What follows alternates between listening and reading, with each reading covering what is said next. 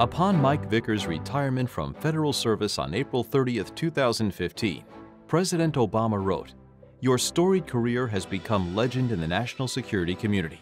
From your leading role in the 1980s as the principal strategist for the program that defeated the Red Army in Afghanistan and accelerated the end of the Cold War, to your leadership in devising the strategy that would disrupt, dismantle, and defeat core al-Qaeda in the Pakistan border region, and your key role in planning for the operation that brought justice to Osama bin Laden. For 42 years, you have had a knack for being precisely where our nation needed you most. One of our nation's top practitioners of unconventional warfare and counterterrorism, Mike has received the nation's highest awards in the fields of intelligence and defense, including the Presidential National Security Medal, one of the four top awards that General Donovan himself received.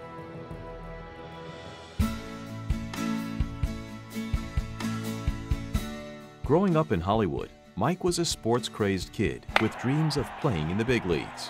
But late in high school, another dream started to take hold. I was an often irregular student, very focused on sports, and I had a high school international relations professor who handed me a New York Times article one day about the CIA's big program in Laos during the Vietnam War and said, you might be interested in this. And it started me thinking about special forces and CIA.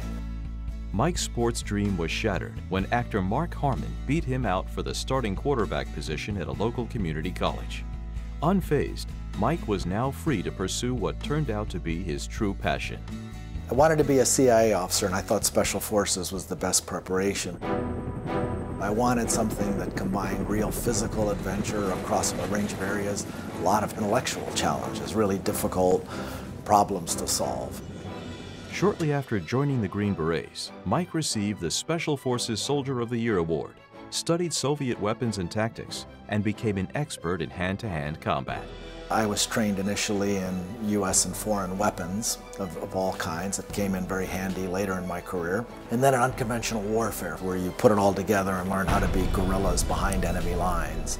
He also trained to carry a small atomic bomb. A few Special Forces operators were trained for very special missions with small atomic weapons that could be carried in a rucksack to blow a bridge that couldn't be done with conventional explosives to stop the Soviet advance on Europe. Soon thereafter, Mike was selected for Officer Candidate School. He went right back into the Special Forces, graduating at the top of his Special Forces officer course. As a first lieutenant, he was selected for early command of a special counterterrorism intelligence unit, where he led sensitive intelligence collection operations and participated in two hostage rescue operations. After 10 years in the Green Berets, Mike Vickers finally fulfilled his dream of joining the CIA, and at age 31, he was given the assignment of a lifetime the most consequential of the operational phase of my career was as the principal strategist and program officer for what was called the Afghan Covert Action Program. It was the largest of its kind in the history of the CIA. It was like the World Series of unconventional warfare, something that I had prepared for for uh, over a decade. The opportunity to fight our main Cold War enemy. It was the professional experience of a lifetime. Which one of the guys do you think is a strategic weapons expert with the CIA? Ooh, huh. That was a trick question, Charlie. It's a nerdy-looking kid in the white shirt. The covert war in Afghanistan and the role Mike Vickers played in it was immortalized in the book and hit movie, Charlie Wilson's War. Mike Vickers, this is Congressman Charles Wilson of the Defense Appropriations Subcommittee. A Swiss-made Oerlikon STA anti-aircraft cannon. That's what you'd use to shoot down the Mi-24 Hind gunship in the mountains, right? Well, the Oerlikon's a good start, but the Russians will just start flying higher altitude missions. So what else did they need? Same thing you give us, AK-47s, AK-74s, AKMS. Soviets didn't come into Afghanistan on a Eurail pass. They came in T-55 tanks. The fighters need RPG-7 anti-tank grenade launchers, Katyusha 107mm rockets, wire mines, plastic mines, bicycle bombs, sniper rifles, ammunition for all the above, and frequency hopping radios and burst transmitters, so these guys are so easy to find. I've written it all in a report you can read. Courtesy of Congressman Charlie Wilson, the program budget had increased by a factor of four. And there was a lot of angst in the CIA about a program that had gotten so big so fast. And we were also engaged in another insurgency in Central America. And so there was a strategy debate about where our main effort should be. Could we win in Afghanistan, or was this really just to bleed the Soviets? Were all these resources justified that essentially Congress had imposed on the CIA? And so my initial challenge was to convince people that this really should be the main effort and that the resources were not only justified, but that we could use more. With the strong support of Bert Dunn and Gust Avrakotos, Vickers supervisors in the Near East and South Asia Division, Mike carried the day. Within a year, the budget had increased by a factor of 11, and that's really where it stayed for the rest of the war. In March 1985, in National Security Decision Directive 166, President Reagan approved Mike Vickers' plan to drive the Soviets out of Afghanistan by all means available. The new Soviet leader, Mikhail Gorbachev, escalated the Soviet effort in Afghanistan at the same time, sending in an additional 26,000 troops, moving his top general from the Central Front in Europe to Afghanistan, and giving him a year to win the war. 1985 was the decisive year of the war, the Afghan resistance and the CIA won the Battle of the Surges. By February 1986, the Soviets began looking for the exit. President Reagan's decision in March 1986 to begin supplying the Afghan resistance with the Stinger anti-aircraft missile helped ensure that the Soviets didn't change their minds. Once his strategy had been fully implemented, Mike came to the realization that he had fought the great war of his time and it would likely be a long time before he received another assignment of such strategic import. Mike decided to leave CIA to continue his education, first at the Wharton School and then at Johns Hopkins School of Advanced International Studies. I decided to do a PhD and I co-founded a think tank advising the Pentagon on strategy and it started the shift from my career from being an operator, a special operator and CIA operations officer to a national security policy maker and then an intelligence community leader. After advising President Bush on a new strategy for the Iraq War, the President selected Mike as his Assistant Secretary of Defense for Special Operations, Low-Intensity Conflict, and Interdependent Capabilities, a new position that was created for Mike that gave him policy oversight over all Special Operations Forces, the nation's nuclear arsenal, and conventional force transformation. With Admiral Olson and others, Mike conceived of and led the largest expansion of Special Operations Forces capability and capacity in our nation's history. He also drove major new investments in long-range air power and undersea warfare that significantly increased our military's ability to project power against future potential great power rivals. We not only had the war in Iraq and Afghanistan, but we had the global fight against al-Qaeda. And so we needed a significant expansion of the force.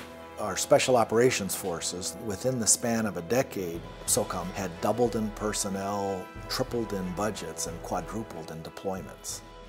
In 2007 to 2008, Mike played a central role in designing the plan and obtaining President Bush's approval for a more aggressive campaign against core al-Qaeda in the Pakistan border region. The results were dramatic. By the end of 2010, multiple al-Qaeda senior leaders had been eliminated, and Osama bin Laden ordered the organization to go to ground in an attempt to survive the onslaught. In August 2010, President Obama nominated Mike to serve as the Undersecretary of Defense for Intelligence, the Chief Executive Officer of the Defense Intelligence Enterprise, an $80 billion, 180,000 person global operation Shortly after the Senate confirmed him, Mike played a critical role in the mission to bring justice to Osama bin Laden. It's been said that finding Osama bin Laden is one of the greatest intelligence operations in history, and it really was. It was something that was 10 years in the making, going from clue to clue to finally locate him in Abbottabad. In the final days before the operation, Mike helped convince Secretary Gates that a daring raid to kill bin Laden was the right course of action. Secretary Gates had been in the White House during the Iran rescue attempt and had saw what could happen when things go wrong. So he initially had favored an airstrike, which had the advantages of being less complex, but also more collateral damage. Innocent people would get killed, and we wouldn't have the proof if we got him. In our final meeting with the president, Secretary Gates still thought that an airstrike was the better option. The next morning, myself, my colleague, the Undersecretary for Policy, Michelle Flournoy, and the chairman of the Joint Chiefs, Mike Mullen, went to see him, and we had all believed that the raid was the right way to go. Secretary Gates had a very open mind and listened to the arguments and then called the President's National Security Advisor and said he recommended the raid.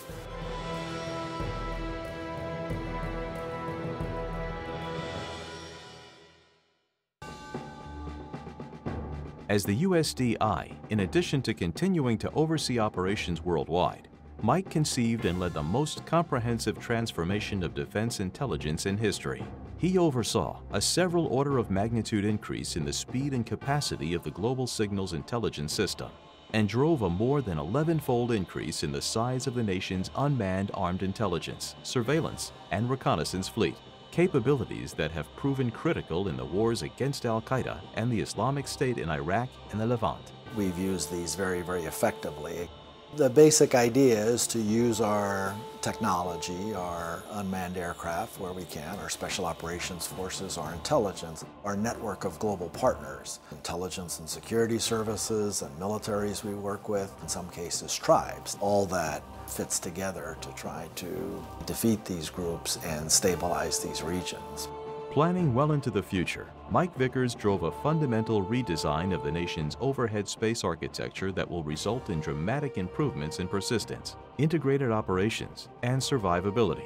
A major reconceptualization and restructuring of DoD's Strategic Human Intelligence Service that has significantly improved the department's ability to collect intelligence against hard targets, and a major buildup of our cyber forces and throughout his tenure as Assistant Secretary and Undersecretary, Mike forged an unprecedented partnership between DoD and the CIA in operations and in the development of new capabilities.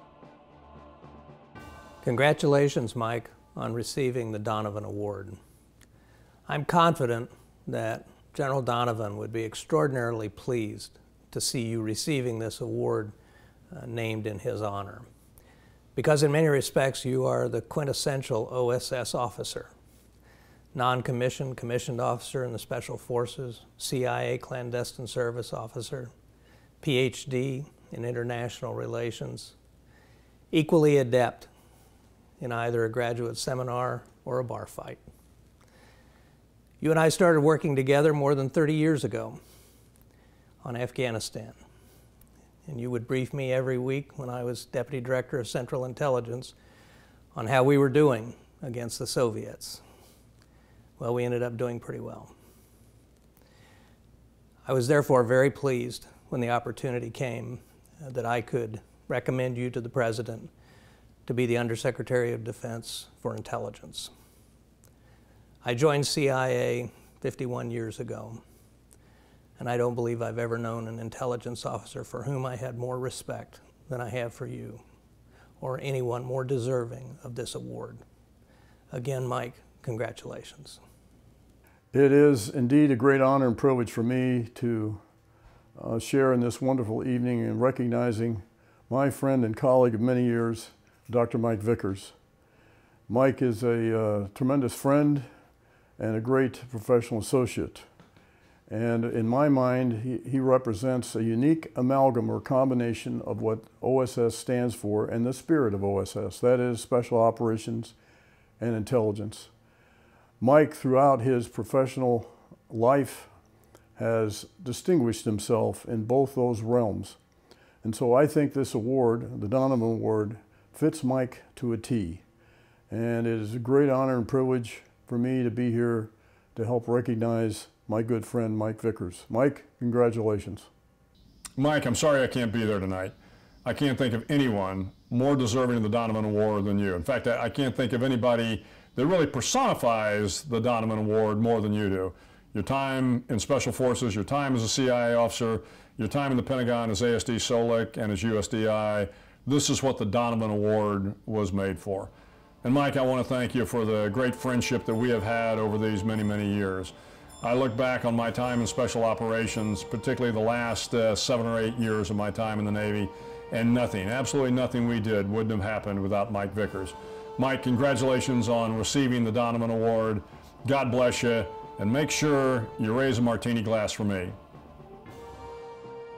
Mike Vickers, the 2017 William J. Donovan Award recipient.